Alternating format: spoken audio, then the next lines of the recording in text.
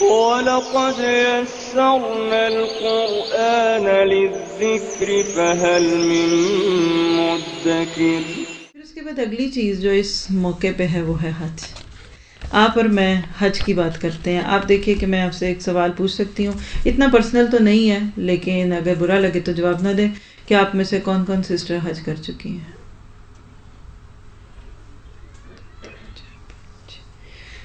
بہت کم ہاتھ ہیں۔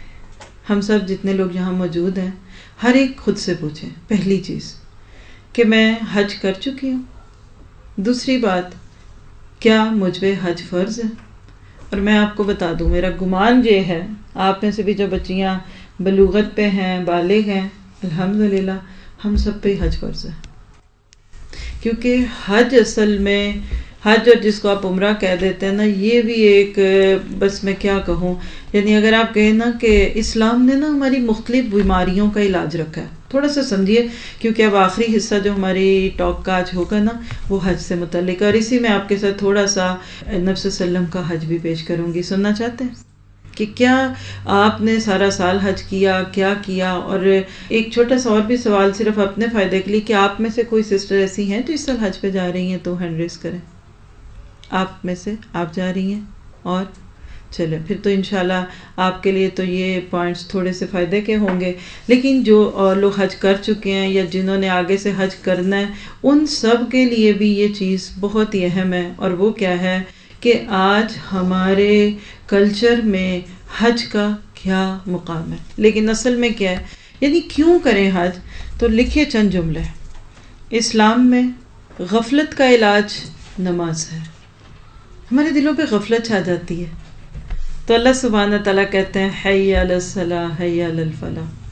آؤ نماز کی طرف آؤ، نماز کی طرف کامیابی بھی ملے گی اور خیر بھی ملے گی۔ اسی طرح سے دنیا کی محبت ہمارے دلوں میں آتی ہے۔ اس کا علاج انفاق فی سبیل اللہ۔ جب اپنے ہاتھ سے آپ دیتے ہیں نا، پھر ہی مال کی محبت جاتی ہے۔ ورنہ تو جتنا رکھے اتنا تھوڑا لگتا ہے۔ پھر اسی طرح سے ہمارے نفس میں شہوت ہے، لسٹ۔ آپ کہہ لیں سیکشولیزم اور جنسیت اور جو بھی اس سے ریلیونٹ تھنگس ہیں، شہوات ہیں، خواہشات ہیں، اس کا علاج روزے میں ہے۔ ٹھیک ہے؟ اور ایک چیز شیطان نے انسان کی طبیعت میں ڈال دی ہے، اور وہ کیا ہے؟ بھائی چارگی، اخوت یونٹی اس کو توڑنا، اپنی ذات کے لیے رہنا اور کہہ لیجیے کہ اللہ کے لیے جینے کی بجائے انسانوں کے لیے جینا۔ اس کا علاج حج ہے۔ حج ہم کیوں کرتے ہیں؟ تاکہ ہم اللہ کو دکھا سکیں کہ کل نسلاتی و نسخی و ماہیا و مماتی اللہ رب العالمین۔ حج ان تمام بیماریوں کا علاج ہے۔ کیونکہ اب دیکھیے نمبر ایک، حج کے لیے مال لگتا ہے۔ بہت ساری رقم لگتی ہے، تو انفاق فی سبیل اللہ ہو گیا۔ حالت حرام میں جب جاتے ہیں تو وہ خوبصورت کپڑے اتر جاتے ہیں، تو شہوات اور دنیا کی باتیں الگ ہو جاتی ہیں۔ پھر آپ دیکھیے کہ حج کے احرام کے ساتھ کچھ پابندیاں لگتی ہیں۔ ایون جائز چیزیں ناجائز ہوتی ہیں۔ تو وہ جو روزہ رکھ کے تقوی کی کیفیت ہوتی ہے، وہ احرام جو بالکل کہہ لیجیے کفن کا سمبل ہے۔ میں نے اس پہ لیکچر دیا ہوا ہے کہ سفر آخرت اور سفر حج۔ بمقابلہ۔ آپ دیکھیں بالکل وہی سارا ہے۔ گھر میں بچے چھوٹے چھوٹے چھوڑ کے میاں بیوی حج پہ جاتے ہیں۔ اسی طرح کبھی اللہ چاہے گا، اگر اس کا حکم آ گیا تو دنیا سے بھی جانا پڑے گا۔ ادھر بھی بھیجنے والوں کو لوگ ایئرپورٹ تک چھوڑ کے آتے ہیں، ادھر بھی قبرستان تک چھوڑ کے آتے ہیں۔ ان کو بھی پھولوں پتیوں میں لوگ بعض دفعہ نہلاتے ہیں، تو وہاں بھی یہ ہوتا ہے۔ اور وہاں جا کر بھی آپ دیکھیے، خاص طور پہ ہجرت۔ حج ہجرت کی یاد ہے۔ میں نے اپنے مکہ سے مدینہ ہجرت نہیں کی، ہم طائف میں نہیں گئے، ہمیں ایسے موقع ملے کہ نہیں ملے۔ لیکن کچھ دن یا مہینے کی ہجرت جو ہے نا، یہ ہمیں اللہ کا قرب دیتی۔ ہے آپ کہہ لیجیے کہ حج پورے کا پورا شیطان کے خلاف جہاد کی ایک علامت ہے۔ اس میں جانی، مالی، بدنی، قلبی، روحانی ہر عبادت جمع ہو جاتی ہے۔ یعنی حج کی اتنی اہمیت کیوں ہے کہ اس میں مال بھی لگتا ہے، جان بھی لگتی ہے، وقت بھی لگتا ہے، ہجرت بھی کرتے ہیں، حلال حرام بھی ہو جاتا ہے اور ہر صاحب استطاعت مسلمان پر یہ لازم ہے۔ آپ خود جتنی مرضی ذمہ داریوں میں جاب کرتے ہیں، کاروبار کرتے ہیں، آپ کے چھوٹے بچے ہیں، آپ کی شادی کے قابل بیٹیاں ہیں، آپ کے بوڑھے ماں باپ ہیں، ان سب کے باوجود حج لازم ہے۔ اور قرآن کی آیت نوٹ کر لیجیے صورت عال عمران، اللہ سبحانہ تعالیٰ نائنٹی سکس نائنٹی سیون میں کہتے ہیں، بالکل چوتھے پارے کا آغاز ہے کہ بے شک عبادت کے لیے جو پہلا گھر بنایا گیا وہ وہ مکہ میں جو برکت والا بھی ہے اور دنیا جہان والوں کے لیے چشم ہدایت ہے۔ وہاں بہت ساروں کو ہدایت ملتی ہے اور اس میں کھلی نشانی ہے اور لوگوں پر فرض ہے کہ جو اس گھر تک پہنچنے کی استطاعت رکھے، وہ اس کا حج کرے اور جو اس کا انکار کرے تو یاد رکھو کہ اللہ بے نیاز ہے۔ حج فرض ہے۔ آپ نے یہاں تک فرمایا کہ جس کے دل میں حج کرنے کا ارادہ، خیال کچھ بھی نہ آیا، تو وہ پھر چاہے یہودی ہو کے مرے یا نصرانی کیوں؟ کیونکہ ان دونوں مذاہب میں حج نہیں تھا۔ باقی ریچولس تھے، ٹھیک ہے؟ تو بات کیا پتہ چلی کہ حج ضروری ہے۔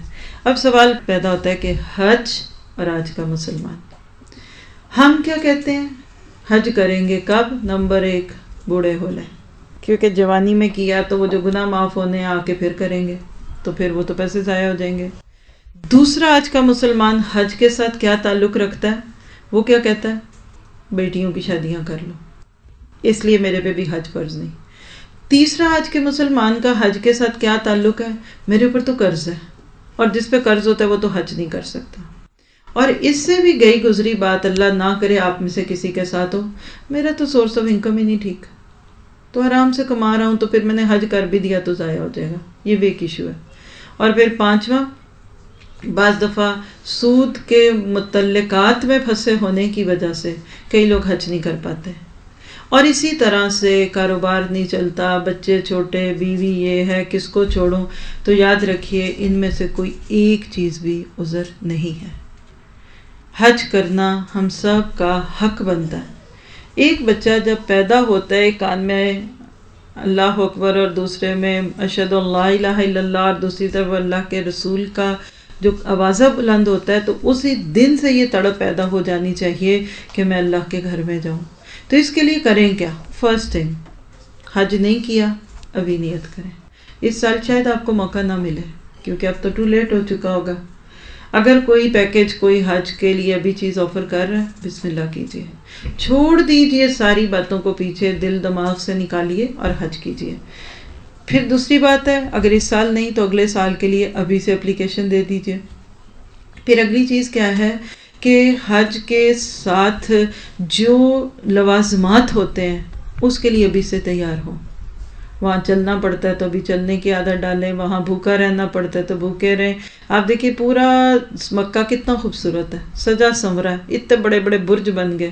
لیکن مینار مزدلفہ میں ابھی بھی آج بھی وہ کچی وادیاں آپ کو دکھتی ہیں، یہ حج کا مقصد ہے۔ پھر اگلی چیز اس میں ایک اور چیز ہے ہمارے کلچر میں جو بہت ہی غیر مناسب ہے۔ ہم اپنی جوان بچیوں کی شادی کی فکر کرتے ہیں، حج کی فکر نہیں کرتے۔ اور جوان ہوتے بیٹوں کی جاب اور سٹیٹس اور ان کے رشتوں کی تو فکر ہے، حج کی نہیں۔ تو یہ بات آج ذرا سی دل پہ بوجھ پڑے گی، آپ ڈالے گی، لیکن آپ اپنے شوہروں کے ساتھ بیٹھ کر اس بات کو ڈسکس کریں۔ آپ کے بچوں کو حج کروانا ٹھیک ہے، اگر وہ بالغ ابھی کماتے نہیں ہیں تو یہ آپ ہی کا فرض ہے۔ لیکن لازم ہے۔ پانچ چھ شرطیں ہیں، میں اس وقت کوئی فکی باتوں میں نہیں جا رہی۔ اس پہ پوری پوری کتابیں، حج اور عمرہ کے مسائل بک باید بک سٹور میں بھی ہے۔ ایپ پہ بھی میں نے دیکھی ہے الحمد للہ ویب سائٹ پہ اس کی آڈیوز بھی ہیں۔ سنیے اور پڑھیے، ساتھ لے جائیں، بلکہ جو حج پہ جا رہا ہے، وہ دو کی بکس دو کے ایپس ڈاؤن لوڈ کروا لیں۔ باہر سے بکس آپ کو دیتے ہیں۔ شعور کے ساتھ حج کریں۔ اگر آپ میں سے کوئی یہاں بیٹھا حج کے لیے جا رہا ہوتا تو میں زیادہ بات اس پہ کرتی۔ لیکن اس وقت بس آپ کے میرے لیے یہ نیت لازمی ہے کہ ہم ابھی اس سال حج نہیں کر رہے، لیکن جو اگلے دس کام ہیں جو یہ ان دنوں میں ہم نے جو کرنی ہے، باقی نیکیاں وہ تو کر سکتے ہیں نا۔ تو نیت کر کے، ارادے کر کے بیٹھیں گے، انشاءاللہ اللہ تعالیٰ ہماری مدد کرے گا۔ اب میں آپ کے ساتھ آخری حصے میں آخری خطبہ۔ نبی صلی اللہ علیہ وسلم نے پوری زندگی میں ایک حج کیا۔ میں آپ کو وہ خطبہ سنانا چاہتی ہوں جو نبی صلی اللہ علیہ وسلم نے اپنے حج کے موقع پہ کیا۔ اور آپ کو پتہ کہ ہمارے ذہن میں کیا آتا ہے کہ چونکہ نبی صلی اللہ علیہ وسلم مکہ میں رہتے تھے، میرا تو یہی خیال تھا۔ بچپن میں، ہر سال حج کرتے ہوں گے۔ نہ ان کو ٹکٹ لینی پڑتی ہوگی، نہ ان کو بہت مشکل چیزوں سے گزرنا ہوتا ہوگا۔ تو جب میں نے فرسٹ ٹائم سنا کہ اللہ کے نبی نے صرف ایک ہی حج کیا، تو سچی بتاؤں، مجھے اللہ کے نبی کے بارے میں تھوڑا سا خیال آ گیا۔ یہ کیا بات ہے، صرف ایک حج کی ہے؟ لیکن جب سیرت پڑی اور آپ کو ایک بہت دلچسپی، اور یہ سب اللہ کے حکم کی باتیں ہیں۔ بہت ہی اچھی سوچ پر امید رویوں کے ساتھ میں آپ کے سامنے نبی صلی اللہ علیہ وسلم کا حج کا خطبہ رکھتی ہوں۔ ہمیں مختلف سیرت کی کتابوں میں ملتا ہے۔ ادھر اسی اسکول میں ہم لوگ محسن انسانیت پڑھ رہے ہیں۔ اللہ کے نفس وسلم کی زندگی اس میں سے حج کا ٹاپک پڑھ لیں۔ نہیں ہے تو رحیق و مختوم بک تو اس میں حج کے موقع پہ نبی کا حج ہے۔ لیکن آج میں جس دعا اور محبت کے ساتھ اس کو پڑھنے لگی ہوں آپ کے سامنے، وہ یہ ہے کہ ایک ایک لفظ پہ غور کیجیے۔ آپ بھی اور میں بھی۔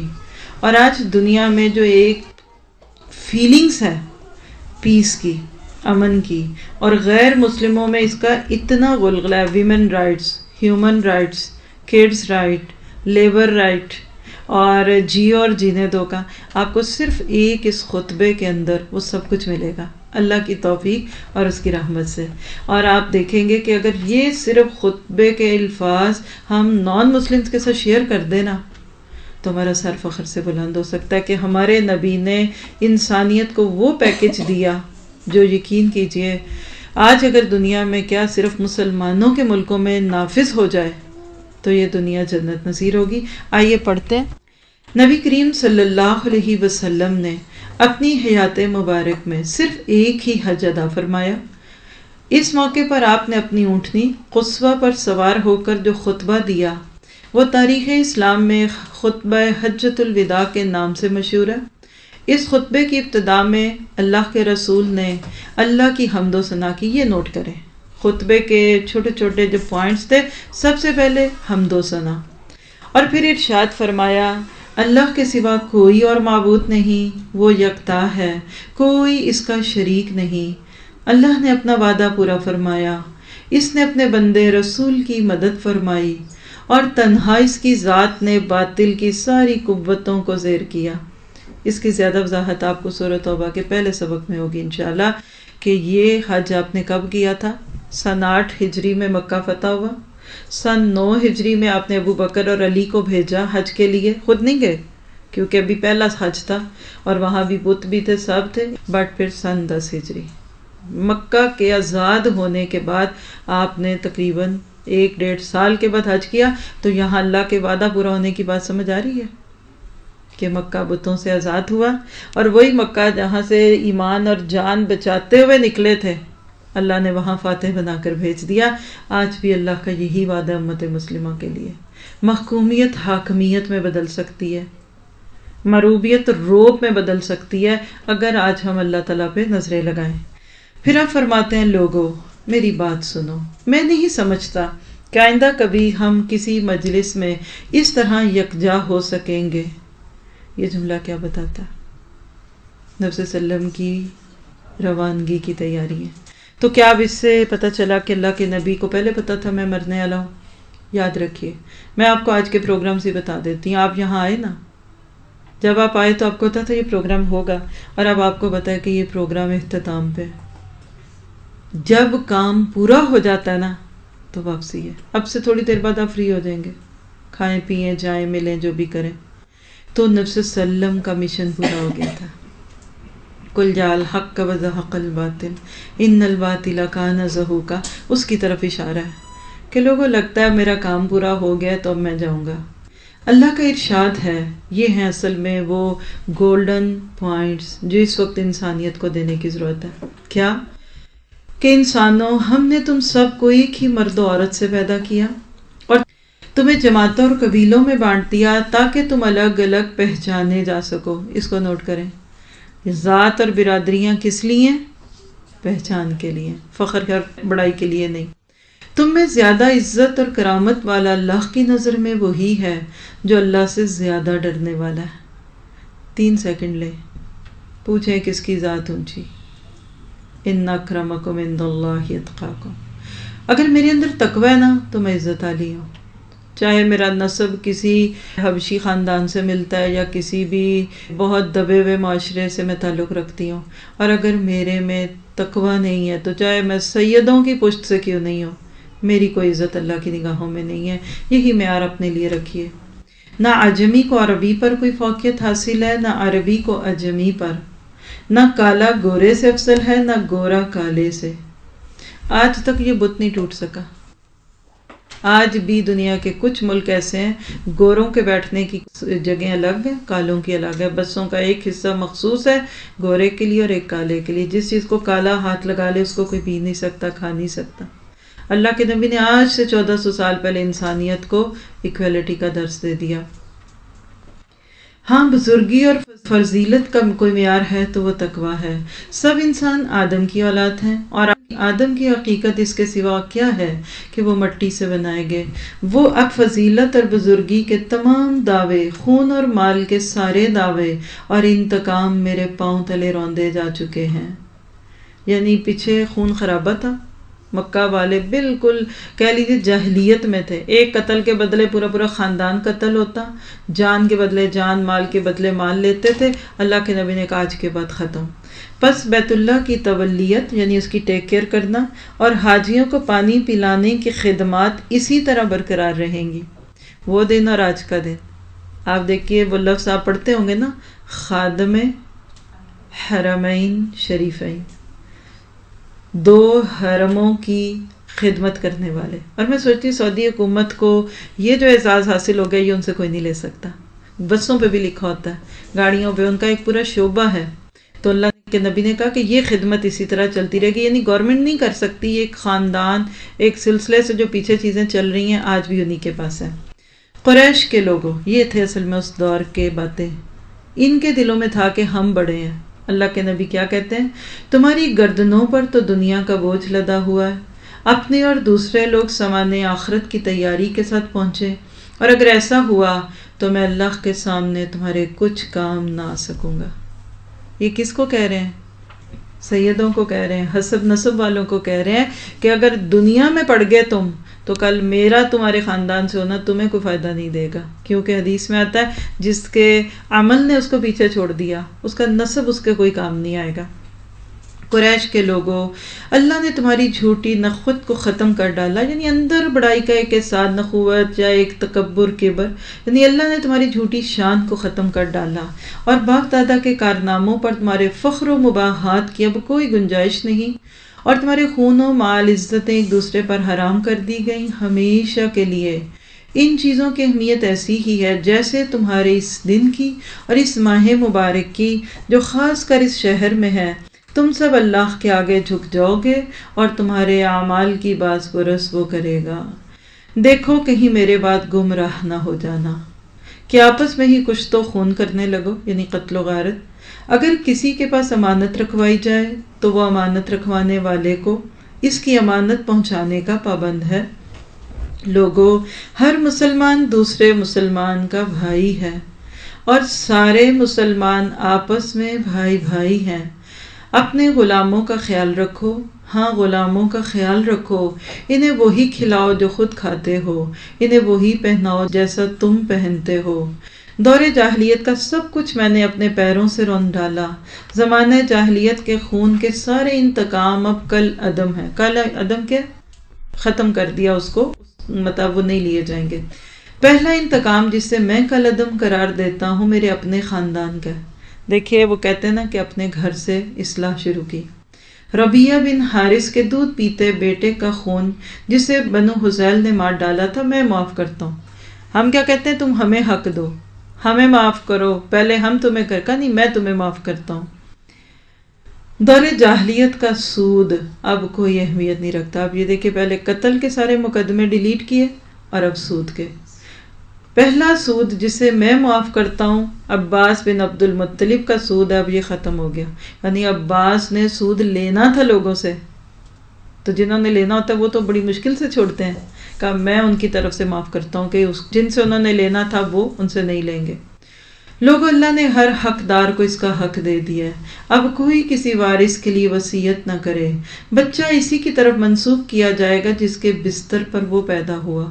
جس پر حرام کاری ثابت ہو، اس کی سزا تو رجم اور پتھر ہے۔ حساب کتاب اللہ کے ہاں ہوگا۔ یعنی ان لیگل بچوں کے بارے میں بھی بتا دیا، کیونکہ اس دور کا یہ عام مسئلہ تھا۔ جو کوئی اپنا نصب بدلے گا یا کوئی غلام اپنے آقا کے مقابلے میں کسی اور کو اپنا آقا ظاہر کرے گا، اس پر اللہ کی لانت تو اپنے باپ کا نام نہیں ہٹانا، کسی اور کو اپنا باپ ثابت نہیں کرنا۔ قرض قابل ادائیگی ہے۔ آریتن یعنی ادھار لی ہوئی چیزیں واپس کرنی چاہیے۔ سوچئے ذرا آپ بھی۔ کچھ لیا ہوا تو نہیں، کسی سے اور دینا ہی بھول گئے۔ تحفے کا بدلہ دینا چاہیے اور جو کوئی کسی کا ضامن بنے وہ تاوان ادا کرے۔ پہلے دور میں ضمانت لے لیتے تھے۔ اچھا یہ نہ آیا تو میں اس کا تاوان دوں گا۔ تو اگر ایسا کیا تو پھر دیجیے کسی کے لیے یہ جائز نہیں کہ وہ اپنے بھائی سے کچھ لے۔ اس کے سوا کہ جس پر اس کا بھائی راضی ہو اور خوشی خوشی دے، خود پر اور ایک دوسرے پر زیادتی نہ کرو۔ اچھا ہم کیا کرتے ہیں؟ پارٹی دو۔ دعوت کھائیں گے۔ لڈو کھلاؤ، مٹھائی کھلاؤ۔ کسی مسلمان کا صرف وہ مال آپ اور میں کھا سکتے ہیں جو تیب نفس، خوشی سے کھلائے تو اب دیکھیے ذرا، شادیوں پہ لوگ کھلا کے بعد میں گلے کرتے ہیں، اتنے لاکھوں کا خرچہ آ گیا۔ تو ناجائز کسی کو مجبور کر کے بھی اس کا مال کھانا جائز نہیں ہے۔ عورت کے لیے یہ جائز نہیں کہ وہ اپنے شوہر کا مال بغیر اس کی اجازت کے کسی کو دے۔ دیکھو، تمہارے اوپر تمہاری عورتوں کے کچھ حقوق ہیں۔ اسی طرح ان پر تمہارے حقوق واجب ہیں۔ تمہارا حق عورتوں پر یہ ہے۔ کہ وہ اپنے پاس کسی ایسے شخص کو نہ بلائیں جس سے تم پسند نہیں کرتے اور نہ کوئی خیانت کریں یعنی کسی غیر مرد سے تعلقات نہ بنائیں۔ کوئی کام کھلی ہوئی بے حیائی کا نہ کریں۔ اور اگر وہ ایسا کریں تو اللہ کی جانب سے اس کی اجازت ہے کہ تم انہیں معمولی جسمانی سزا دو۔ اگر وہ باز آ جائیں تو انہیں پھر اچھی طرح سے کھلاؤ پلاؤ۔ عورتوں سے بہتر سلوک کرو کیونکہ وہ تمہاری پابند ہیں۔ وہ خود اپنے لیے کچھ نہیں کر سکتی، اس لیے ان کے بارے میں اللہ کا لحاظ رکھو کہ تم نے انہیں اللہ کے نام پر حاصل کیا اور اسی کے نام پر وہ تمہارے لیے حلال ہوئی میں تمہارے نام ایسی چیز چھوڑے جاتا ہوں کہ اگر اس پر قائم رہے تو کبھی گمراہ نہ ہو سکو گے۔ اور وہ اللہ کی کتاب ہے۔ اور دیکھو، دینی معاملات میں غلوف سے بچنا کہ تم سے پہلے کہ لوگ انہی باتوں کے سبب ہلاک کر دیے گئے۔ شیطان کو بھی اس بات کی کوئی توقع نہیں رہ گئی کہ اس کس شہر میں عبادت کی جائے گی، کس شہر میں؟ مکہ میں۔ لیکن اس کا امکان ہے کہ ایسے معاملات میں جنہیں تم کم اہمیت دیتے ہو، اس کی بات مان لی جائے اور وہ اس پر راضی ہے۔ اسی لیے تم اس سے اپنے دین اور ایمان کی حفاظت کرنا۔ اور دیکھ لیجیے آج بھی حرم میں شرک نہیں ہے، لیکن کچھ سائڈ کی چیزیں تو موجود ہیں۔ شیطان اسی پہ بڑا خوش ہے۔ لوگوں اپنے رب کی عبادت کرو، پانچ وقت کی نماز ادا کرو، مہینے بھر کے روزے رکھو، اپنے مالوں کی زکوٰۃ خوش دلی سے ادا کرتے رہو، اپنے اللہ کے گھر کا حج ادا کرو اور اپنے اہل عمر کی اطاعت کرو تو اپنے رب کی جنت میں داخل ہو جاؤ گے۔ اب مجرم خود ہی اپنے جرم کا ذمہ دار ہوگا۔ اور اپنا باپ کے بدلے بیٹا پکڑا جائے گا۔ نہ بیٹے کا بدلہ باپ سے لیا جائے گا۔ سنو جو لوگ یہاں موجود ہیں۔ کہاں؟ اس وقت میدان عرفات میں۔ اب یہ بات آپ اپنے اوپر بھی لیجیے۔ آپ سب یہاں بیٹھ کر اس پرسکون ماحول میں یہ باتیں سن رہی ہیں نا۔ اسی طرح ذرا امیجینیشن میں لائیں۔ یہ ایک خطبہ یا ایک درس ہی ہم پڑھ رہے ہیں نا۔ اگر آوازیں ریکارڈ کرتی تو شاید آج نبی صلی اللہ علیہ وسلم کی ہم ریکارڈنگ سنتے، مجھے نہ ہی بولنا پڑتا۔ ہے نا؟ آپ سوچئے وہ لوگ جو اس دن موجود تھے۔ کوئی ان کے مقام کو پا سکتا۔ تو یہ فرسٹ ہینڈ نالج ڈلیور کرنے والی جگہوں پہ موجود لوگوں کی خوش بختی ہے۔ خود کو مبارک دیں کہ آپ یہاں بیٹھے ہیں۔ یہ بات ریکارڈ ہو رہی ہے اور پتہ نہیں یہ ہزاروں یا لاکھوں کہاں جائے گی، اللہ کو پتہ ہے۔ اور ضائع ہو جائے گی، یہ بھی اللہ کو پتہ ہے۔ لیکن میں حیران ہوتی ہوں، ایک چھوٹی سی بات، کسی ایک درس میں میں نے کی ہوتی ہے، مجھے ایسٹ، ویسٹ، نارتھ، ساؤتھ، چاروں طرف سے کہیں نہ کہیں اس کا کوئی فیڈ بیک ملتا ہے۔ تو میں کہتی ہوں، ان کو یہ پتہ میں بول رہی ہوں، ان کو یہ نہیں پتہ میں کن کے سامنے بول رہی ہوں۔ تو ہمیشہ ان جگہوں پہ آنے کا اہتمام کریں۔ جو قرآن ریکارڈ ہوتا ہے، وہ میں نہیں بولتی، آپ بھی بولتے ہیں، آپ بلواتے ہیں۔ تو بہت خوش قسمت ہے آپ لوگ کہ اگر آپ کے پاس یہ اپرچونیٹی موجود ہے۔ نہ تو اس میں کوئی سگنل ڈراپ ہوتے ہیں اور نہ اس میں آواز کی فلکسویشن ہوتی ہے۔ صرف تھوڑی سی کوشش کی ضرورت ہے۔ اور یاد رکھیے نعمتیں ہمیشہ پاس نہیں رہتی۔ لائن شکر تم لزید انکم ولائن کفر تم انذاب شدید تو اللہ کے نبی آپ ان لوگوں کو انوالو کر رہے ہیں جو وہاں موجود تھے۔ سنیے گا۔ سنو جو لوگ یہاں موجود ہونے چاہیے کہ یہ احکام اور یہ باتیں ان لوگوں کو بتا دیں جو یہاں موجود نہیں ہیں۔ ہو سکتا ہے کوئی غیر موجود تم سے زیادہ سمجھنے اور محفوظ رکھنے والا ہو۔ تو بلے کو انی والا ہوا آیا۔ جو باتیں سنتے ہیں، اس کی اچھی باتیں دوسروں سے شیئر کریں، ان تک بھی یہ علم کو پہنچائیں۔ اس کے بعد خاتم الانبیاء صلی اللہ علیہ وسلم نے فرمایا، اور لوگوں، میرے بارے میں تم سے سوال کیا جائے گا۔ تو تم کیا جواب دو؟ یہ ہے سب سے زیادہ سینٹیمنٹل سینٹینسز تیرہ سال مکہ میں اور اب نو سال مدینہ میں ہو گئے۔ ابھی اگلا سال نہیں آیا، دسواں سال ہے بلکہ یہ۔ یعنی آپ کی اس دس کہہ لیجیے چلے۔ تیرہ مکہ کے اور دس مدینہ کے تیئیس سال سے تم مجھے دیکھ رہے ہو۔ کیا کہتے ہو میرے بارے میں؟ یعنی اپنا کردار پیش کر دیا محاسبے کے لیے۔ لوگوں کی عدالت میں خود کو کھڑا کر کے کہتے ہیں، میرے بارے میں کل جب تم سے پوچھا جائے گا تو کیا جواب دو گے؟ کون تھا میں؟ اللہ پرست تھا یا نفس پرست تھا خواہش پرست تھا یا دنیا پرست تھا یا معاشرے کو دیکھتا تھا یا خاندان کو دیکھتا تھا؟ ذرا سا اپنے اوپر لے کر سوچیے اس کو۔ کل اپنے ساتھیوں کو ہم کہیں کہ قیامت کے دن میرے بارے میں کیا کہو گے؟ تو کیا گواہیاں دیں گے لوگ میرے بارے میں؟ صحابہ کی گواہی سنیے۔ لوگوں یعنی صحابہ نے جواب دیا، ہم اس بات کی شہادت دیں گے کہ آپ نے امانت اور امانت کیا یا؟ یعنی دین۔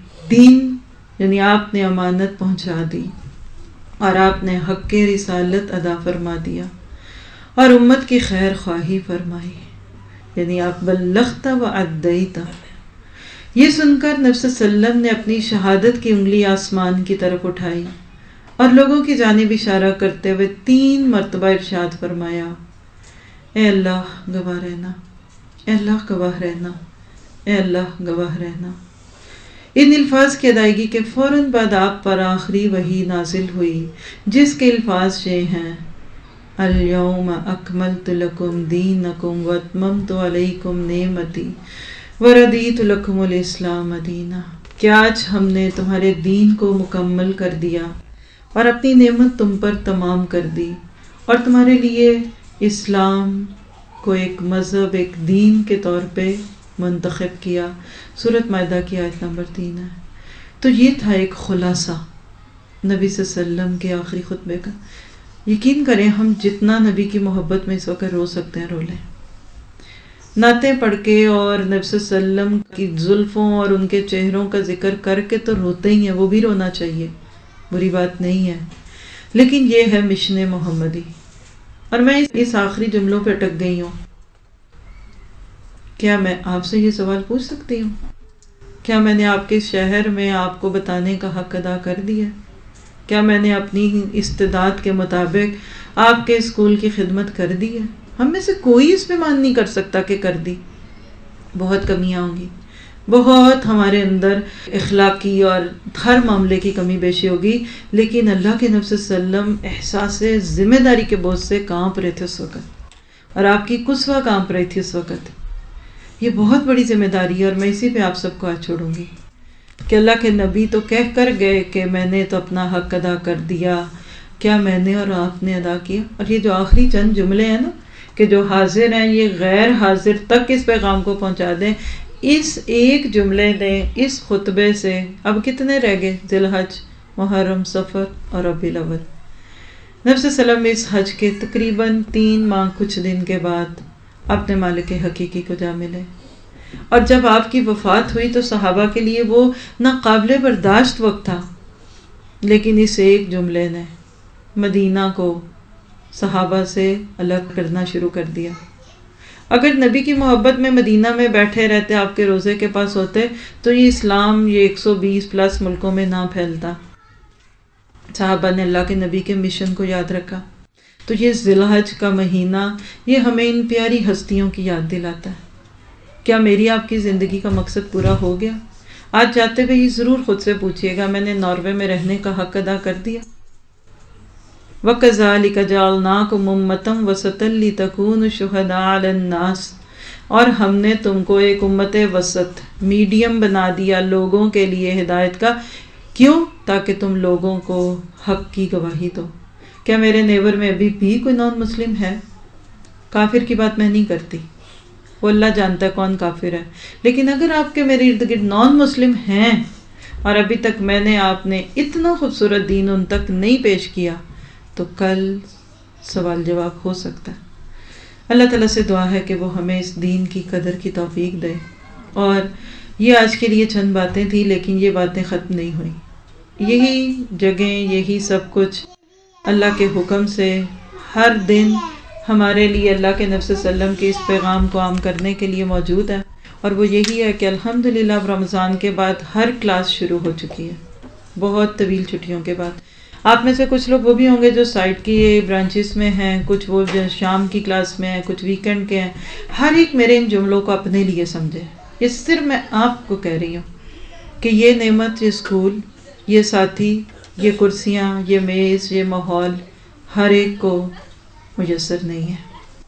میں نے ان تقریباً تین ماہ میں یعنی رمضان سے پہلے نکلی تھی آپ کے شہر سے، اور اب آئے ہوئے بھی الحمد للہ دو ہفتے ہو گئے۔ میں نے کوئی پانچ چھ ملکوں کو وزٹ کیا، اور اس میں آٹھ دس شہروں میں، اور اس میں بھی پھر مختلف جگہ میں وہ لوگ جو چاہتے ہیں کہ دین کا کام کریں، لیکن ماحول نہیں تڑپنے لے بہت ہیں۔ آن لائن سے پڑھے ہوئے، ادھر سے سنا، ادھر سے پلیٹ فارمس نہیں ہیں، کہیں جگہ نہیں ہے اور کہیں جگہ اتنی خوبصورت ہے پتہ ہی نہیں کرنا کیا۔ اور ہر بندے کو میرے نام کے ساتھ پتہ نہیں کیوں لفظ اوسلو یاد آتا ہے۔ تو مجھے اکثر شہروں میں جانے کے بعد یہ جملہ ضرور سننے کو ملتا ہے، کاش ہم اوسلو میں ہوتے، کاش ہم ناروے میں ہوتے۔ آپ آج کے اس جملوں سے یہ سوچیے کہ کئی دفعہ ہم نہیں کہتے کاش ہم مدینہ میں ہوتے، کاش ہم نفس وسلم کے دور میں ہوتے، تو میں تو کہاں جاتی ہوں؟ اللہ تیرا شکر ہے، میں نہیں تھی اس دور میں۔ جو میری آج اللہ کے دین اور نبی کے طریقوں سے میری جو تعلقات اور پرائرٹیز ہیں، میری تب بھی وہی ہونی تھی، یہ تو بچ گئے۔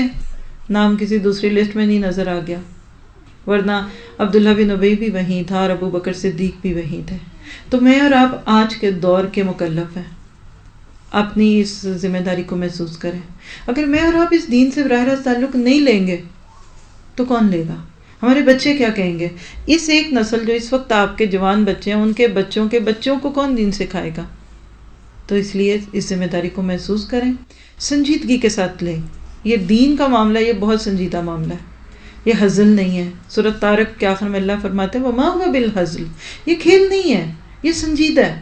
اس کے لیے کمٹمنٹ چاہیے ہوتی ہے۔ اس میں کچھ قربانی دینی پڑتی ہے۔ اس میں اپنی ذاتی زندگی کو آگے پیچھے کرنا پڑتا ہے۔ جس کو اس کی توفیق مل جائے وہ مبارک کے قابل ہے۔ جزاک اللہ خیر، سبحانک اللہم و بحمدک۔ اشہد ان لا الہ الا انت۔ استغفرک و توب الیک۔ ربنا تقبل منا انک انت السمیع العلیم۔ وتب علینا انک انت التواب الرحیم۔ وصلی اللہ تعالی خیر خلقہ واصحابہ اجمعین۔ برحمتك يا ارحم الراحمين ربنا ظلمنا انفسنا وان لم تغفر لنا وترحمنا لنكونن من الخاسرين يا حي يا قيوم برحمتك نستغيث رب ارحمهما كما ربياني صغيرا ربنا هب لنا من ازواجنا وذرياتنا قرة اعين واجعلنا للمتقين اماما. یا اللہ، ہماری اس چھوٹی سی کوشش کو قبول فرما، ہماری غلطیوں کی اصلاح فرما. جنہوں نے بھی اس کوشش میں کوشش کی، مدد کی، تعاون کیا، ان سب کا یہ قبول فرما۔ جو ساتھی آئے، ان کا آنا قبول فرما۔ ان کی پریشانیوں کو دور فرما، بیماریوں کو دور کر دے۔ یا اللہ، آپ ہمیں علم کے لیے زیادہ محنت اور کوشش کرنے والا بنا دے۔ یا اللہ، ہم دنیا سے کسی لمحے چلے جائیں گے، ہمیں آج بھی اس کا احساس ہے۔ یا اللہ، ان لمحوں کی قدر کی توفیق دے۔ یا اللہ، بچوں کے غموں سے بچا، ماں باپ اور بھائی بہنوں کے صدموں سے بچا۔ یا اللہ ہم سب کو بس ایک غم لگا دے کہ ہمارا اور ہمارے پیاروں کا کیا بنے گا؟ یا اللہ ہمیں آخرت کے غم لگا دے، یا اللہ ہمارے سب غم چھوٹے کر دے، جس کے دل میں اس وقت بھی جو دعا، جو خواہش ہے، اس کو پورا فرما۔ ہمارے استادوں پہ اپنی رحمت فرما۔ یا اللہ ہمارے ماں باپ پہ اپنا رحم فرما۔ ہمارے شوہر اور ان کے ماں باپ پہ اپنا رحم فرما۔ اور یا اللہ جو دین کے سلسلے میں تعاون کر رہے ہیں دن رات مختلف جگہوں پہ، یا اللہ ان کی ان کوششوں میں برکت دے۔ اور یا اللہ جو نعمتیں تو نے ہمیں دی ہیں، ہمیں اس کی قدر کی توفیق دے۔ یا اللہ اگر ہمارا نام کسی کلاس میں ہے تو ہمیں اس ذمہ داری کو محسوس کرنے والا بنا۔ یا اللہ نعمت کو پا کر اس سے بدلنے والوں میں ہمارا نام نہ لکھنا، محروم لوگوں میں نہ رکھنا اور یا اللہ ہمیں اپنے آنے والی نسلوں کے لیے خیر کی چابیاں بنا اور شر کے تالے بنا۔ یا اللہ اس ملک کو ہم جو کچھ ان سے لیتے ہیں، ان کو دینے والے بنے۔ اور یا اللہ اسکول کو قیامت تک آباد رکھنا۔ یا اللہ جہاں بھی لوگ نور القرآن کے پلیٹ فارم پہ کام کر رہے ہیں، جن کو میں جانتی ہوں، جن کو میں نہیں جانتی، خاص طور پہ آج نام لے کے ان کے لیے دعا کر رہی ہوں کہ یا اللہ ان کی عمروں میں صحت میں برکت دے، بیماریوں سے بچا۔ رزق حلال راہ دے اور اس کے علاوہ جو بھی جہاں حق کو پھیلانے کے لیے کسی نام، کسی ادارے کے ساتھ کام کر رہا ہے، یا اللہ ان کو بھی اس میں برکت عطا فرما۔ سبحانک اللہم و بحمدک، اشہد ان لا الہ الا انت، استغفرک و اتوب الیک۔ ربنا تقبل منا انک انت السمیع العلیم۔ وتب علینا انک انت التواب الرحیم۔ وصلی اللہ تعالی خیر خلقہ واصحابہ اجمعین۔ برحمتک یا ارحم الراحمین۔ آمین۔ ثم ولقد يسرنا القرآن للذكر فهل من مدكر